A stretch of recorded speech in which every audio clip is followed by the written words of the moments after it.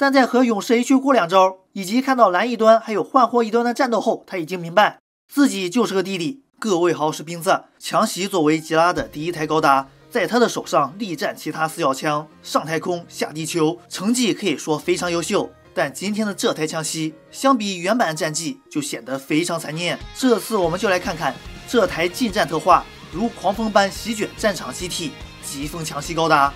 小伙伴们也别忘了多多点赞、投币、收藏，三连越多，更新越近。疾风强袭高达。编号 LG GAT X 一零五，高十八点零一米，重六十五点一吨，登场于 C 的外传小说，驾驶员为 NDHE，也就是 ND 核，是蓝一端的驾驶员，从云河的影印人。不过影印的是他在联合时期的少年阶段，因此二人的差异也要更大。驾驶疾风强袭，执行图书馆交给他的任务。作为强袭高达的升级改造形态，疾风强袭受响应的影响非常大。头部依旧搭载有豪猪阵火神炮，面部特征和原版做出明显区别，取消雪铁龙，并且两边还有锯齿状设计，同时有提高头部传感器以及处理数据的效率。配备有基于贝尔切素子的小型冷却装置，提高散热。肩甲非常明显，不管和原版枪袭还是其他机体对比，都显得更大，因为它是把翔翼背包下面的两个高推力推进器放在这里，令该机的运动性可以大幅提升，既可以快速突进，拉短与敌机的距离，也可以做出更加复杂的回避动作。而移出了两级推进器后，盾牌因为会妨碍到格斗战，就把它放在背包上。虽然看起来不好拿来用，但实际上它有连接机械臂，可以用来防御背面攻击，并且盾牌在这里有稳定翼的作用。破甲者的收纳是设计在肘部，疾风强袭会用它进行投掷攻击。光束军刀也有改动，是从双肩部位向前伸出。配备有一把五十七毫米高能光束步枪，也是联合给 MS 配备的标准武装。虽然也有不错威力，但疾风强袭本身是会将敌机强行拉入近战格斗机体，突出强调的是接近战能力。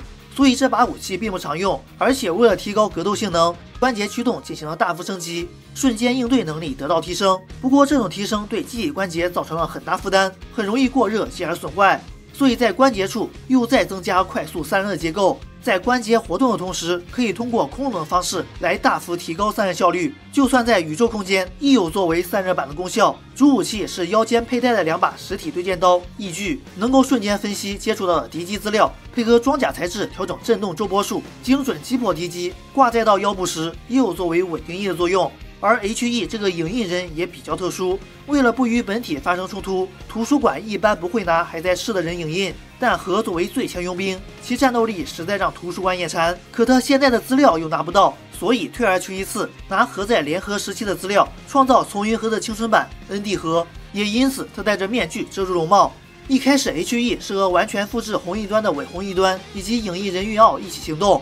虽然玉奥是图书馆复活。但他完全不打算听从图书馆，在交给罗另一把武士刀虎彻，还有传递影印人很危险的消息后，就打算自爆。但疾风强袭瞬间就来到伪红一端的身边，切下能源电池，阻止了爆炸。随后蓝一端二型改赶到，而在 H.E 的心目中，从云河就是全宇宙最危险存在。面对举起大剑的蓝一端，疾风强袭也紧张的举起双刀，不过和直接放过他，H.E 也没多说啥，带着伪红一端就跑。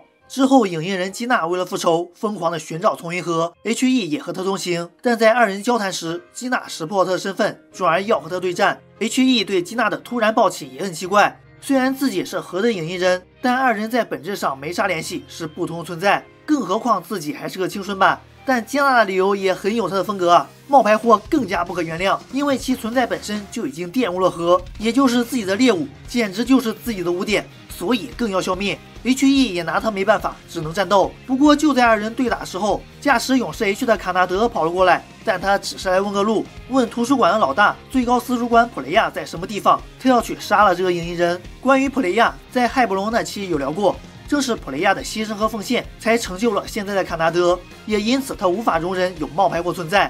但想杀自己的老大，吉娜和 H.E 可不能当做没听见。疾风强袭，换货一段二星，要先和勇士 H 斗一斗。卡纳德也不意外，而且见他俩都是近战特化，也没打算活用优势，而是将装备切换为光束刃形态，正面对战。好巧的是，从云河这个时候也来到这儿，吉娜一看到他就失控，H.E 就单独和卡纳德对战，但双方根本不是一个等级，不论战斗经验、心理素质还是本身的能力水平。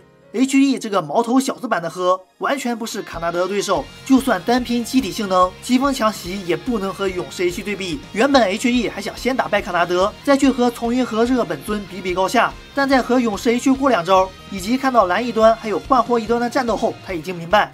自己就是个弟弟，直接放弃战斗，连卡纳德这场都不打了。卡纳德看见他不想打，倒也无所谓，不过要求他带路去找普雷亚。H.E 也没办法，只好乖乖带路。毕竟对面两个他哪个都打不过。什么？你说吉娜呢？他早被核打爆，赶着去强化换回一端了。接下来就是图书馆最高战力吹雪神医的回合，所以疾风强袭在这次事件里。不仅一场能看都没有，甚至最后还被压着带路去见自己老大，真的非常残念。不过也不能说疾风强袭一点高光都没有。曾经疾风强袭和 H.E 就袭击过 D.S.S.D 管辖的研究所附近的扎夫特部队赶来防御，虽然是以大部队作为对手，但疾风强袭根本无所畏惧，其优秀机动扎古勇士的枪根本锁不到他。疾风抽出一锯，在瞬间来到敌人面前，开始自己最擅长的格斗战。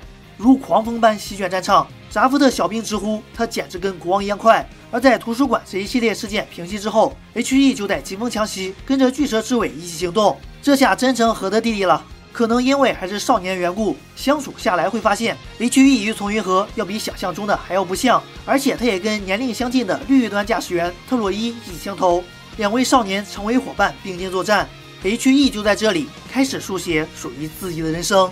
我是小兵子，感谢大家支持和收看。喜欢本期视频，也欢迎订阅我频道。对魔性有兴趣，也可以来小店看一看。如果有下期的话，我们下期再见。